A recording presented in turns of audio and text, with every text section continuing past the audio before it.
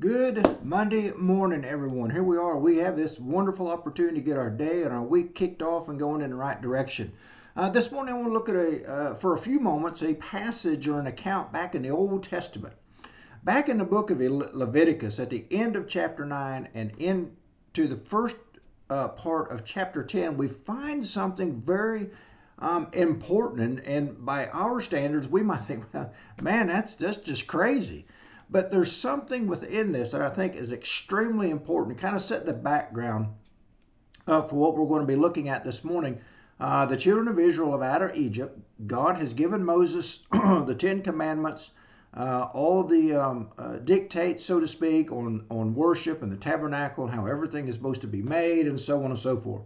Well, all of that is now done, and they're offering their sacrifices to God.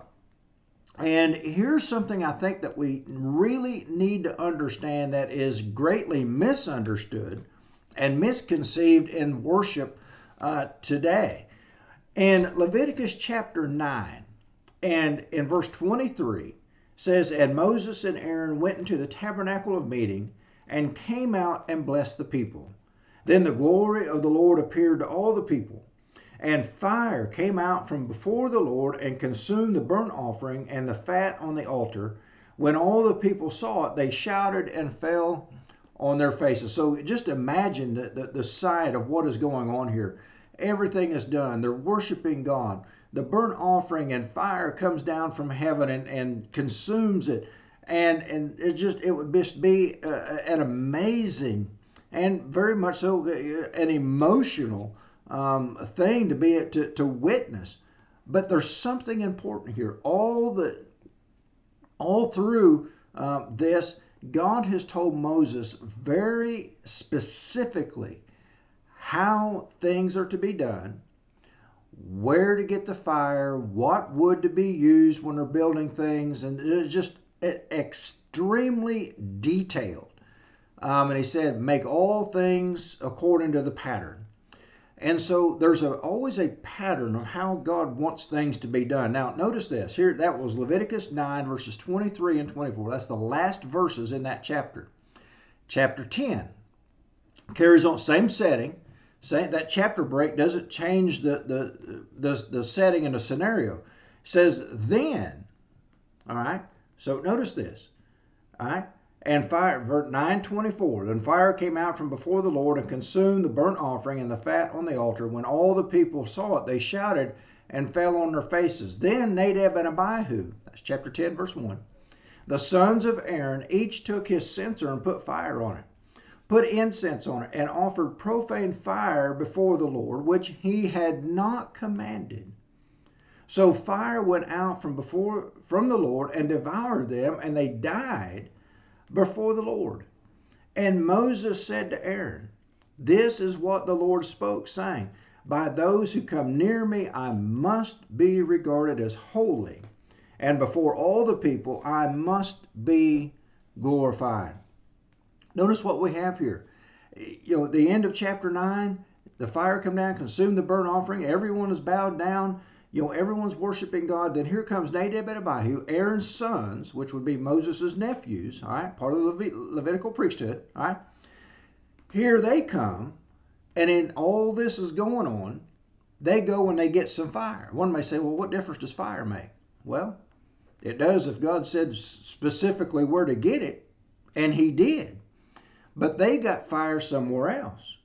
And they put fire in it, then they put incense on it and offer profane fire. Now, what does that mean? Profane means unauthorized.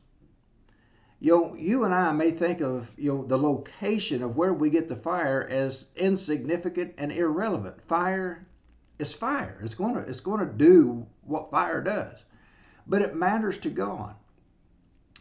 God expects mankind to do exactly what He says these guys, they I don't know, maybe maybe they just did it out of out of arrogance. Maybe they did it and just got caught up in in the moment. You know, uh, just like Peter on the Mount of Transfiguration.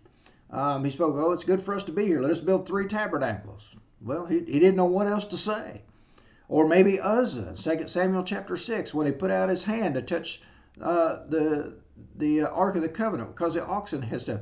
Maybe it was just you know maybe one of those circles. We don't know. It doesn't tell us. But either way, what they did was wrong. Uh, whether uh, they got caught up emotionally, still wrong. Whether they did it deliberately, it was still wrong. It was still disobedience to God because it was profane because God had not commanded them. When it comes to our worship, God has commanded how that is to be done. And I like what Moses said here in verse 3 says, This is what the Lord spake, saying, By those who come near me, I must be regarded as holy. Now, how do we regard God as holy?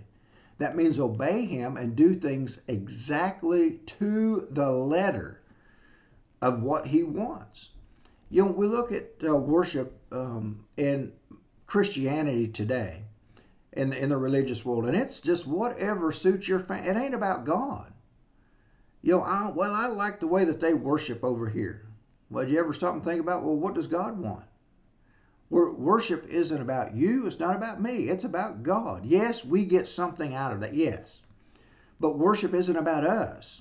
Worship is about giving glory. Look what he said. He must be regarded as holy. Jesus said the same thing in John 4 23 and 24.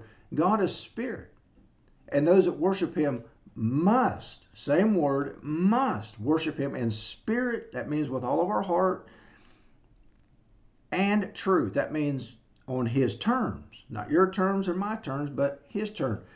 Notice that this was a harsh penalty for their profane worship. It killed them. Their worship killed them. You know, sometimes we may not think too much about this, that about how our worship could have an impact on our eternity. Our worship could indeed be the death of us eternally. Just like their worship, Nadab and Abihu, their worship was the death of them physically. Your worship, my worship, if it's not done exactly the way God says, it will, not may, it will, because we have this example, it will be the death of us eternally. Something we really need to understand, think about, reverence God, and when we come before Him and worship, we better be regarding Him as holy. And we do that when we obey Him to the letter. I'm going to leave you with that. Here, here's our text. Uh, Leviticus 9, 23 and 24, and the first few verses of Leviticus 10. Go back and think about what's going on here, and then think about is your worship lining up according to the New Testament pattern, not David's pattern, the New Testament pattern um, for the church. Go back and study this. Hey, I hope you have a great day. Lord willing, we'll get back tomorrow. And Lord willing, we'll get another dose of God's Word to get our day kicked off right. We'll see you then.